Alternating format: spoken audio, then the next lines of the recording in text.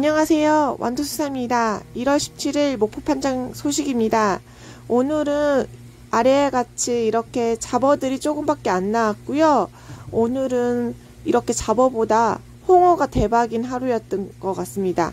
이렇게 열기도 보이고요. 뒤로는 제가 아까 말했다시피 홍어가 어마어마하게 나온 상태입니다. 제가 이렇게까지 목포 판장에 다니면서 이렇게 홍어가 이렇게 어마어마하게 나온 적은 처음입니다. 여기에서부터 저기 끝에까지 목포에 홍어가 다 나왔습니다. 목포하면 홍어인 거 아시죠? 저희도 통으로 판매를 하고 있고요. 통이 너무 많다 하시면 500에서 500, 550g에서 600g 내외 해가지고 38,000원에 판매를 하고 있습니다. 여기 보시면 오늘 홍어가 어마어마하게 나온 상태라는 걸 알 수 있습니다. 목포하면 홍어, 홍어하면 삼합입니다.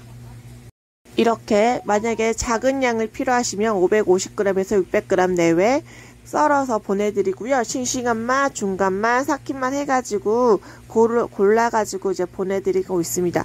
보신 것과 같이 이렇게 홍어가 어마어마하게 많이 나온 상태입니다.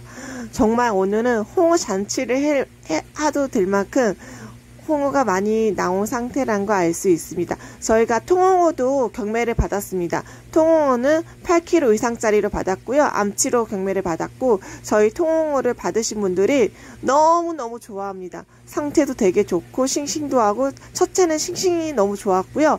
너무 싱싱하니까 받는 분들이 더 좋아하신 거 아시죠? 저희는 최상품 홍어로 경매를 받았고요. 정말 큼직큼직한 거 8kg 이상짜리로 경매를 받은 상태입니다.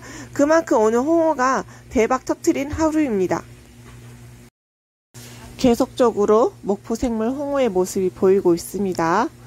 설 명절이 다가오면 빠질 수 없는 것이 홍어입니다. 그만큼 목포에서도 유명한 목포 홍어 생물 홍어입니다. 저희도 오늘 경매를 받았고요. 오늘은 홍어뿐만 아니라 참돔이 되게 많이 나왔습니다. 근데 기타 잡어들이 많이 안 나왔고요. 참돔이 이렇게 보신 것과 같이 많이 나온 상태인 걸 알 수 있습니다. 어, 제 손보다 더 큰 참돔도 보이고요. 참돔하면 제사상에 빠질 수 없는 것 중에 하나죠.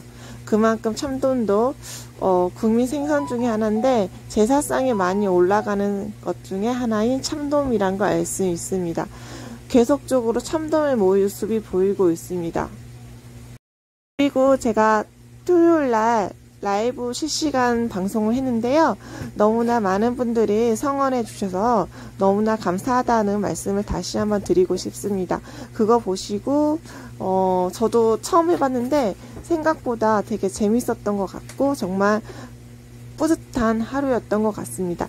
계속적으로 목포판장의 참돔의 모습이 보이고 있습니다. 저도 참돔이란 생선을 돔이란 생선이 들어가면 손질을 항상 항상 어렵습니다. 정말 예전에 제가 돔 4짝을 손질한 적이 있는데요. 정말 그때 진이 다 빠진 하루였습니다. 그만큼 돔이라는 생선이 들어가면 껍질도 두껍기 때문에 손질할 때 유의하시길 바라겠습니다. 오늘도 날씨가 굉장히 춥습니다. 날씨가 추운 만큼 감기 조심하시고 옷 따뜻하게 입고 다니시길 바라겠습니다.